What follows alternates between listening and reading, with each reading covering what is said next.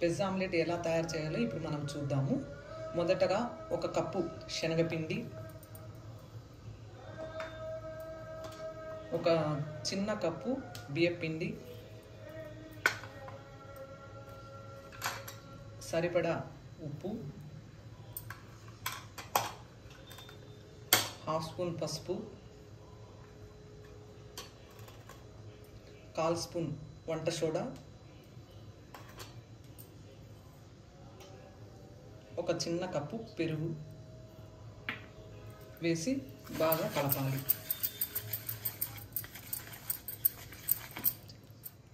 తగిన నీళ్ళు పోస్తూ కలుపుకోవాలి. ఈ విధంగా పిండిని కలుపుకొని పది నిమిషాలు పక్కకు పెట్టుకోవాలి. పది పదహైదు నిమిషాల తర్వాత మూత తీసి మనము ముందుగా తరిగి పెట్టుకున్నటువంటి ఉల్లిపాయ ముక్కలు ఇవి చాలా సన్నగా తరుగు పెట్టుకోవాలి.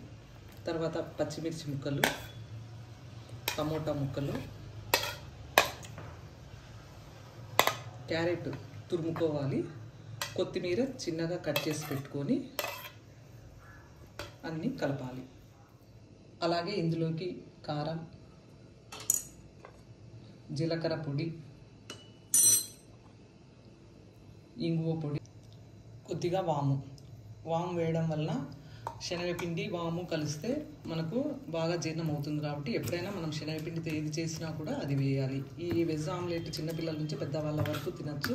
మనం పండుగ రోజులు శనివారము ఎగ్ ఆమ్లెట్ తినం కాబట్టి ఈ ఆమ్లెట్ వేసుకొని తింటే మంచి పోషకాలు ఉంటాయి. పిల్లలు కూడా చాలా ఇష్టంగా తింటారు.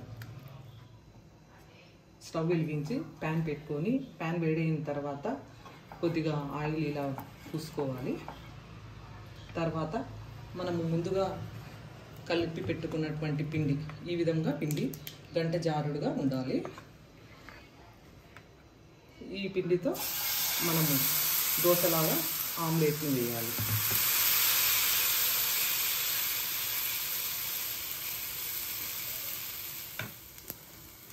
ఈ విధంగా కాలిన తర్వాత మనము దీన్ని నిదానంగా తిప్పుకోవాలి. స్టవ్ సిమ్లో పెట్టుకొని మరలా కొద్దిగా ఆయిల్ వేసి కాగిన తర్వాత తీసుకోవాలి. ఈ విధంగా రెడ్గా కాలిన తర్వాత మనం ప్లేట్లో వేసుకోవాలి.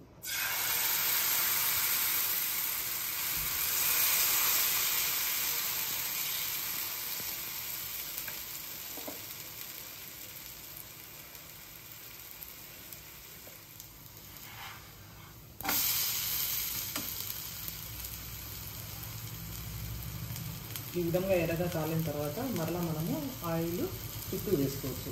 ఆయిల్